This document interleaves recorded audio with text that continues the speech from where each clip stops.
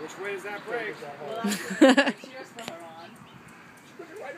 I know. I play it dead center, Riley. That's what she's doing. Are you gonna read that for her? Oh!